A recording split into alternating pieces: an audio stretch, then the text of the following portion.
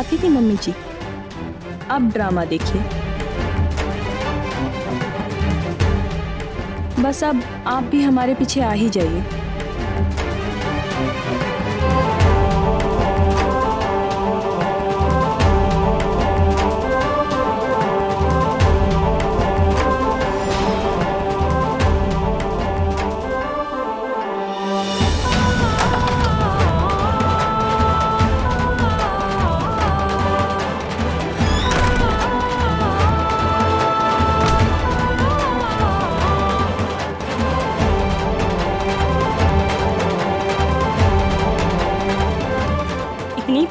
मेरे यहाँ रहने से तो ठीक है, घर छोड़ के ही जा मैं। नहीं मानना ना आपको, पत्नी। मत मानिए। पर कम से कम बिहेव तो ठीक से कर सकते हैं ना, पर नहीं?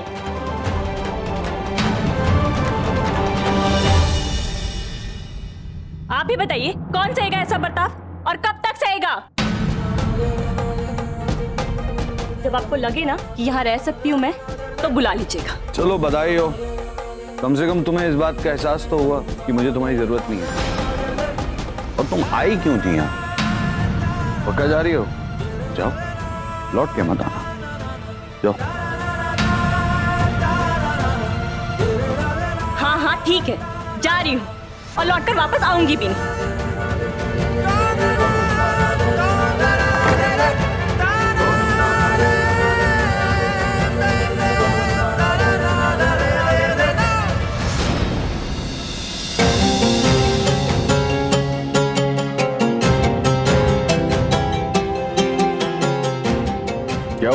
तो जा रही थी। जाओ।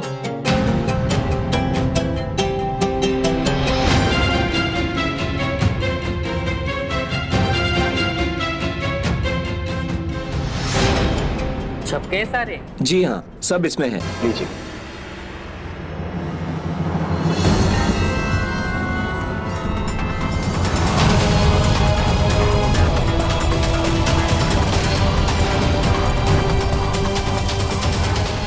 जितना बोला था उससे भी बड़ा लिख दिया।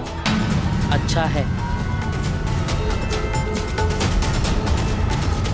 ले तेरे पैसे। अब जा। थैंक यू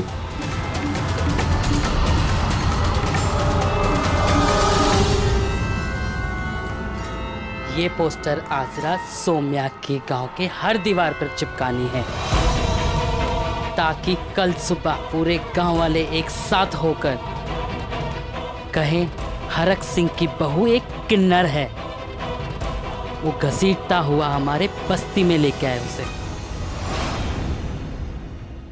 और उसके बाद चींटी ने बोला, हाथी जाकर मेरे पीछे बैठ जाओ, फिर आपकी माँ आपको ढूंढ ही नहीं पाएगी। और फिर हमने पूरा दूध भी फिनिश कर दिया। पूछिए चूहों से, पेट भरा उनका कि नहीं. चिंटू जरा बाहर जा। चुप कर बूढ़ी ये मेरा कमरा है। एक चमाट दूँगी ना? निकल यहाँ से। तमीज कहीं का? नहीं जाऊँगा। क्या करेगी चमार मारेगी तू? मारी दिखा। सच्ची में? मम्मी जी। मैं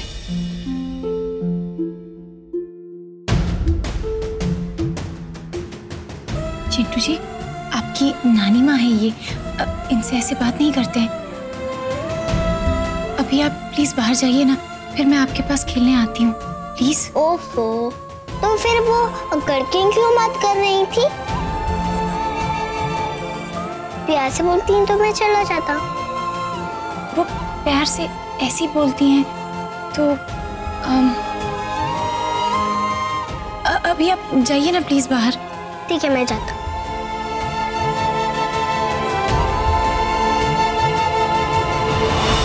बड़े पर निकल आए तेरी छोटी के। मायके जाने की जिद कर रही है वो। जाकर उसे समझा कि ये वक्त हरमन से दूर रहने का नहीं, उसके करीब रहने का। और वो जितना हरमन के करीब रहेगी, उतने ही सुकून और चैन से तू इस घर में रह पाएगी। शर्त याद है ना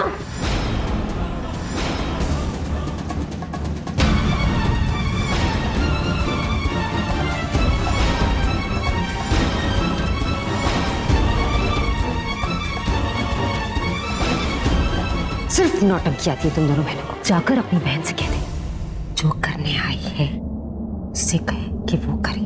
और जल्दी करे। अच्छा होगा तुम दोनों के लिए। समझे?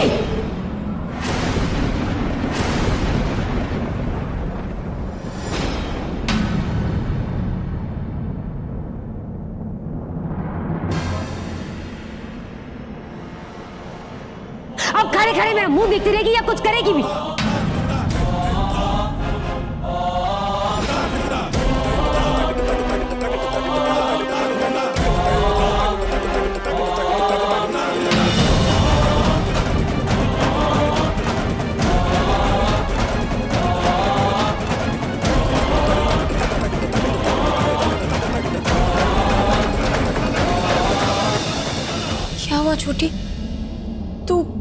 कहाँ जा रही है? दी वो घर की बहुत याद आ रही है तो सोचा कि कुछ दिन घर पर रह कर आऊँ।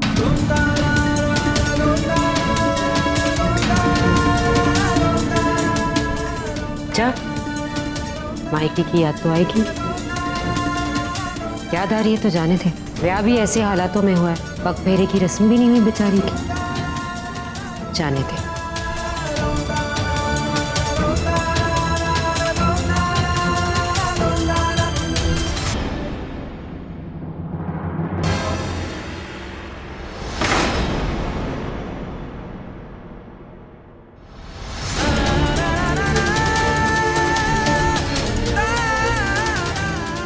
नहीं जाओगी तुम यहीं रहोगी।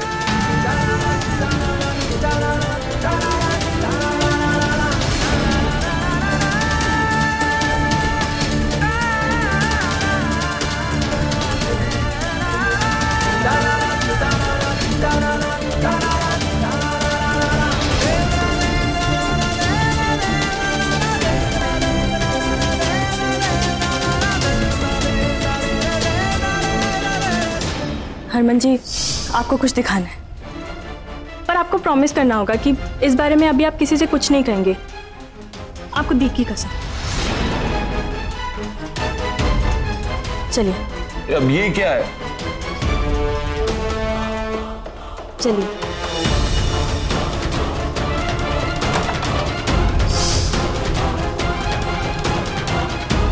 मायके जाने की जिद कर रही है।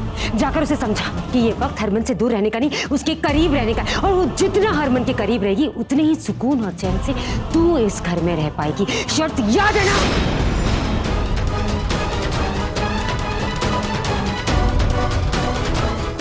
तुम क्यों चाहती हो कि मैं प्रीतो से बात नहीं करूँ? क्यों रोक रही हो मुझे?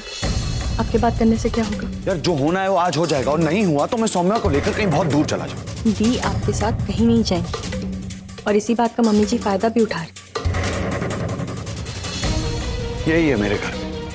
सौम्या हरक सिंह, प्रीतो सबको सिर्फ़ अपने मतलब की बात समझ में आती है। मेरे बारे में कोई सोचता भी नहीं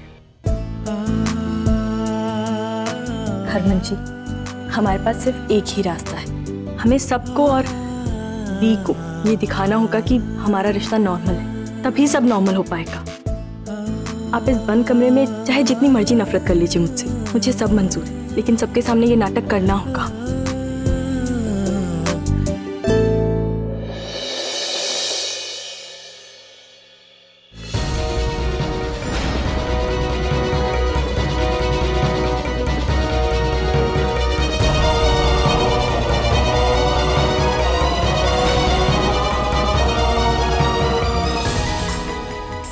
चिपका दिए सारे।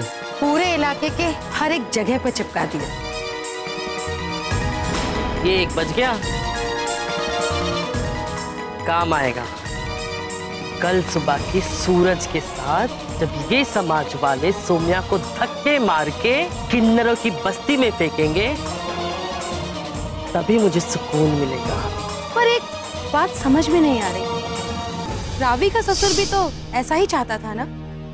तो फिर आपने उसे पक्का जवाब क्यों नहीं दिया? जो अपनी बहू का नहीं हो सकता, वो हमारा क्या होगा? ज़रूरत पड़ी तो हमारे से मदद मांगने के लिए आ गया वो मैंने हाँ या ना इसलिए नहीं बोला, क्योंकि कल को मुझे उसकी ज़रूरत पड़ सकती है। तो मैं अपनी चौखट पे उसे बुला सकती और वो आएगा।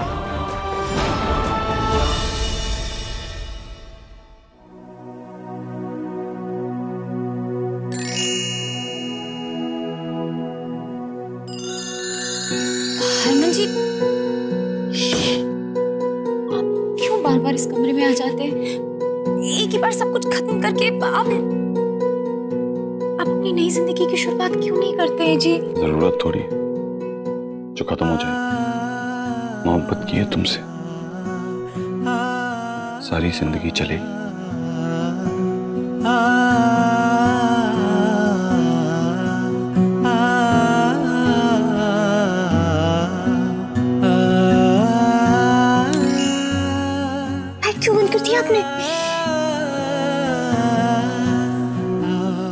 लाइट इसलिए ऑफ़ की ताकि किसी को शक ना हो। और किसी ने भी मुझे नहाते हुए नहीं देखा। और अभी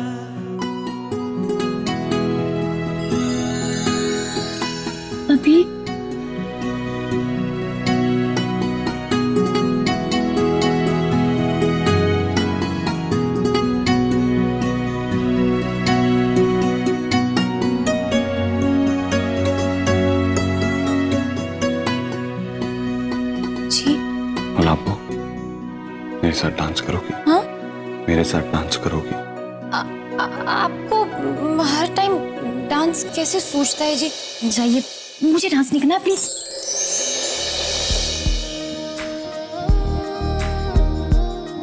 तेरा इश्क है मेरी इबादत दीदार है दिल की राहत।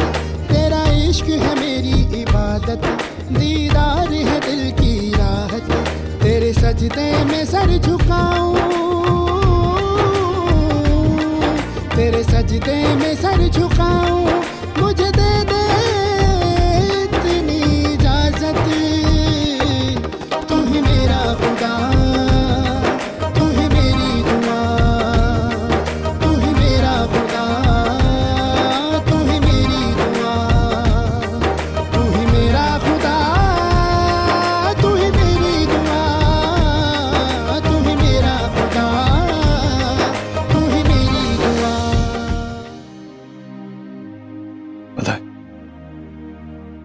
के लिए मना करती हूँ ना।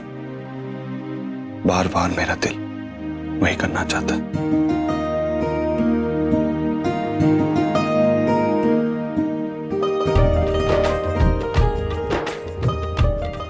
आज नो म्यूज़िक नो शोर शराब। तुम खिड़की से आती हुई चाँद की रोशनी को देखो और मैं अपने चाँद को देखूँगा।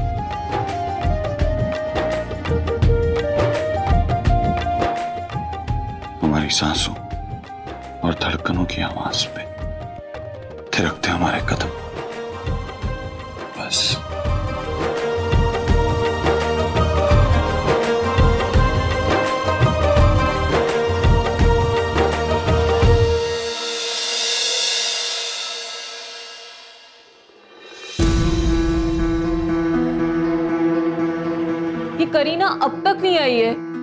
मुझे तो डर है कि कहीं कोई मुसीबत ना खड़ी कर दे।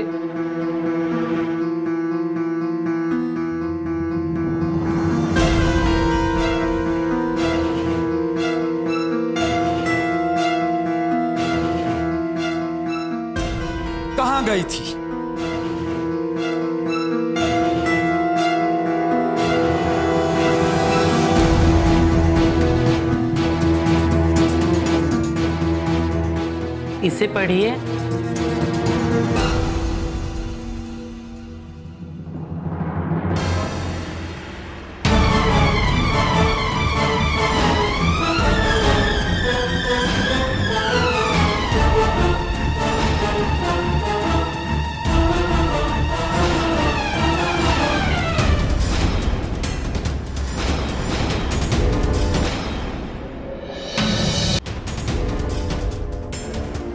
लिखा है।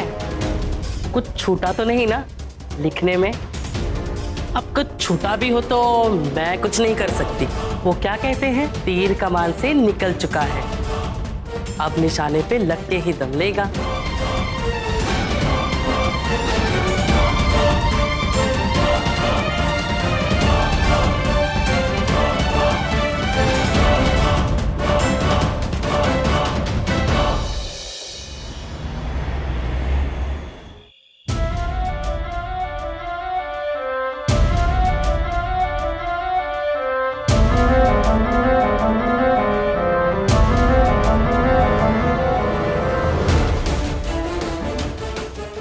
से निकाल ले। एक भी पोस्टर बचना नहीं चाहिए।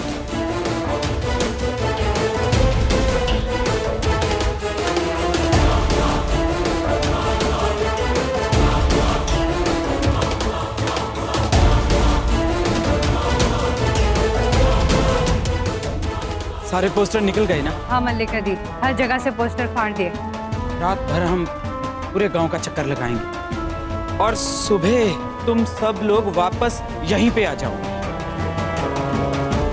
अगर कोई पोस्टर कहीं दिखता है तो उसको निकाल लेना। एक भी पोस्टर बचना नहीं चाहिए। जी मल्लिका दी क्योंकि सौम्या की सुरक्षा की ज़िम्मेदारी हमारे ऊपर है। मैंने उसकी माँ निम्मी की जलती हुई चिता के आगे वचन दिया था।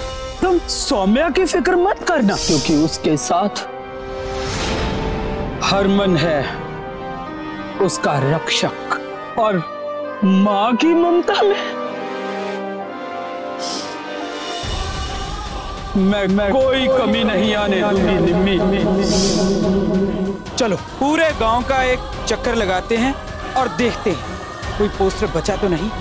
चलो आओ फटाफट। चलो।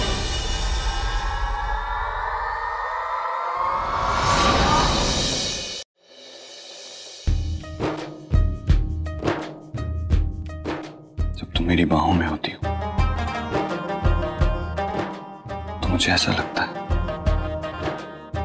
मानो मैंने अपनी बाहों में पूरी दुनिया समेट रखी हो।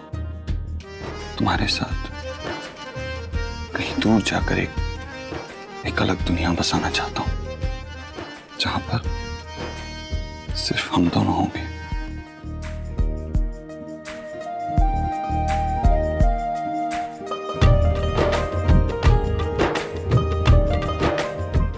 पर पता नहीं तुम क्या चाहती हो।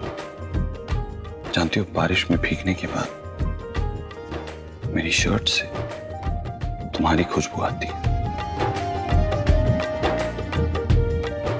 रात को पंखा बंद करके सोता हूँ ताकि तुम्हें ठंड ना लगे। झूठ बोल रहा हूँ। इतना बावला नहीं हूँ। हाँ लेकिन इतना बावला ज़रूर कि तुम्हारा बनाया हुआ स्वेटर गर्मी के मौसम में हरी धूप में गले में लपेट कर घूमता रहूँ।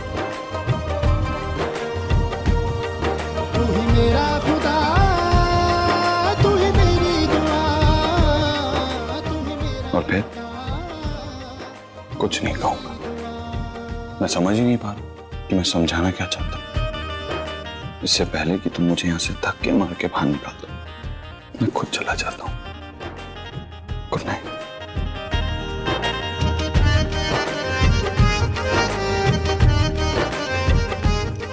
जाने का मन बिल्कुल